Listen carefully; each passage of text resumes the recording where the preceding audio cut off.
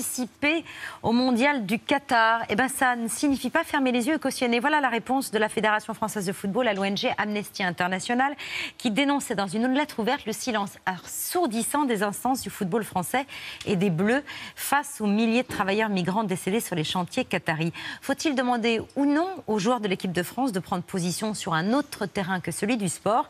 La réponse de leur ministre du tutelle, c'était dimanche au micro de Nathalie Guénetta sur France Inter les joueurs de l'équipe de France, c'est pas des hommes politiques, c'est pas des hommes et des femmes politiques, c'est pas non plus des fonctionnaires du Quai d'Orsay et diplomatiques. Euh, ils sont là pour jouer.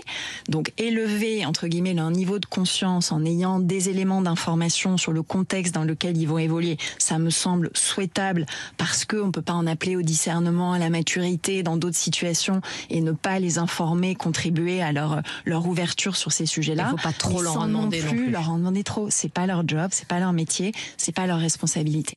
Bonsoir Vikash Dorasso, ancien joueur de l'équipe de France au football, aujourd'hui consultant à l'équipe et Canal Afrique. Prendre position sur la Coupe du Monde au Qatar, c'est pas le job des footballeurs, c'est pas leur métier, dit la ministre des Sports. Vous, vous dites tout le contraire. Vous dites on se lève ou on se casse. D'habitude, les footballeurs, on reste assis, on sort pas du bus.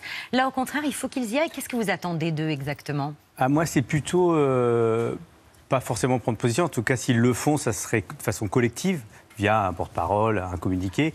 Euh, un syndicat, puisqu'il y a un syndicat, mais c'est surtout aller attaquer. Alors, il y en a qui parlent de l'attribution de la Coupe du Monde, mais qui attribue C'est la FIFA. Donc, c'est aller attaquer la FIFA. Et les footballeurs, ils sont pris au piège, ils n'ont rien demandé, ils se retrouvent. Euh, on leur demande de boycotter, de prendre position. Euh, c'est eux qui vont être en première ligne, puisqu'ils vont jouer, ils vont aller dans un pays où les, droits de l'homme et, l'écologie ne va, va, pas être respectée. Donc, c'est la FIFA qu'il faut attaquer, et c'est les footballeurs qui peuvent le faire. À chaque fois qu'ils font des choses de façon collective, organisée, ça paye. Ouais. Ce que vous dites, c'est que, en gros, en règle générale, ce qu'on demande aux joueurs de foot, c'est de marquer des buts, d'encaisser leur chèque et de se taire. C'est le sois belle et tais-toi euh, pour les footballeurs. Et justement, ils le payent cher, justement, ça. Euh, on les paye suffisamment, on les paye cher pour qu'ils avalent des couleuvres. Pardon, je vais y arriver. Oui, oui. Euh, euh, Messi, par exemple, qui à un moment critique sa, fédération euh, d'Amérique du Sud, il prend 4 matchs de suspension. Neymar, il fait un tweet pour critiquer un arbitre, il prend 4 matchs de suspension. Euh, Lukaku, qui critique, son club à Chelsea, il prend une amende, suspension, etc. C'est quand même à chaque fois le, coup de bâton. Le moindre écart est immédiatement sanctionné. Et, je trouve ça pas, sympa, quoi, parce que le joueur de foot, c'est quand même la valeur, c'est quand même lui qui, c'est la force de, tout ça. Et de nouveau, c'est à chaque fois quelque chose d'individuel qui est, euh, qui est, euh, voilà, qui est, euh, qu'il paye de façon individuelle. Colin Kaepernick a posé un genou à terre tout seul, il a arrêté le foot.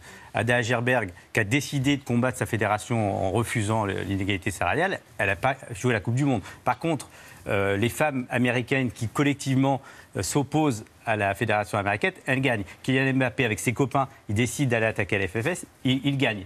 Euh, les joueurs de foot contre le racisme, tout seul, un joueur sort, il est suspendu. Euh, il se fait attaquer ou il, doit il, doit rejouer alors qu'il vient de, de, prendre des cris de singe. Quand ils le font collectivement, le PSG et l'équipe turque qui sort du terrain, qui essaie de ne pas revenir, le match s'arrête. La FIFA est obligée de céder la, FFF aussi. Vous savez s'ils en ont envie? Vous avez sondé des joueurs de l'équipe de France? Ils, aimeraient s'engager plus? Ils sont un peu contraints au silence? Ils s'engagent, hein. ils font plein de choses euh, de façon individuelle, mais parfois collective pour leur, euh, leur quartier, leur, leur, pays d'origine, les, les, académies, les clubs d'origine.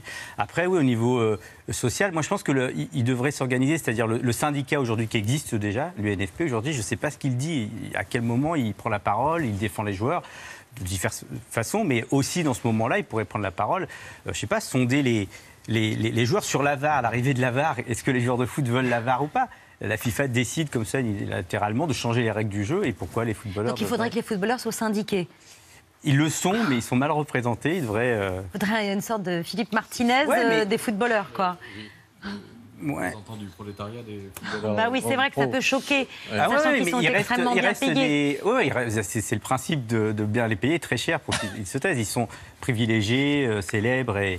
On les paye cher pour qu'ils se taisent? Ah ouais, bien sûr, évidemment. Mais euh, voilà, ils acceptent ça, ils pourraient s'organiser et faire autrement. Mais on se souvient que collectivement, euh, dans des pays où les artistes sont payés très cher, comme les États-Unis, les syndicats de scénaristes ah ou de comédiens ont eu des poids collectifs très importants dans l'histoire. Donc, Notamment Charlie Chaplin, enfin, on se souvient voilà. Pour l'artiste.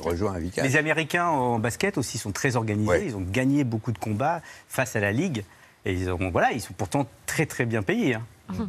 Mais il y a une philosophie d'esprit individualiste quand même. Aussi. Bien sûr, ouais, ouais, je, moi c'est un, un rêve d'aller attaquer la FIFA et de gagner. Mais je pense aussi que le footballeur, je veux dire, j'attaque la FIFA, je- pas personnellement, c'était c'était une tribune, mais euh, parce que la FIFA ne possède rien, elle organise le football, elle a un monopole sur tout ça. Alors qu'en fait, les footballeurs pourraient euh, aussi, euh, je sais pas, co-organiser, euh, co-développer, euh, gagner de l'argent. Les rappeurs le font bien dans la musique. Pourquoi les footballeurs, ils participeraient Il faudrait pas qu'ils produisent euh, eux-mêmes le Bah, football ils, par- ils pourraient jouent. participer à cette co-organisation. Alors, il s'engage d'une certaine forme. Il y a huit capitaines de sélection européenne qui vont porter un brassard arc-en-ciel en soutien aux luttes contre toutes les discriminations. Pour la France, ce sera donc euh, Raphaël Varane, le capitaine des Bleus, qui était interrogé samedi sur cette question du non-respect des droits de l'homme au Qatar, et il était un petit peu embarrassé. En tant que joueur, euh, on hérite un peu d'une situation, on va dire, avec une décision qui a été prise il y a plus de 12 ans maintenant. Donc euh, évidemment, on suit, ce qui se passe. Chacun, chacun a sa place, chacun son rôle. La Fédé a communiqué dessus, les droits de l'homme, toutes les discriminations. C'est des sujets euh, très graves, très importants et euh, voilà, le fait de- d'en parler, de mettre la lumière aussi dessus, le fait de porter par exemple le brassard euh, que j'ai porté lors du dernier match, c'est aussi des symboles forts. Vous êtes d'accord C'est un symbole fort, le brassard? Ouais, c'est super, mais euh, évidemment, il y a 12 ans, il y a eu l'attribution. C'est là que la Fédé aurait pu réagir.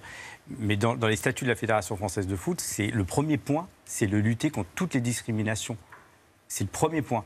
Et les dernières prises de parole du président de la Fédération de, de- football ne sont pas bonnes, ni sur le racisme, ni sur euh, l'homophobie, ni sur, euh, pour les femmes. Il n'y a rien du tout, quoi. Donc, c'est à eux de le faire.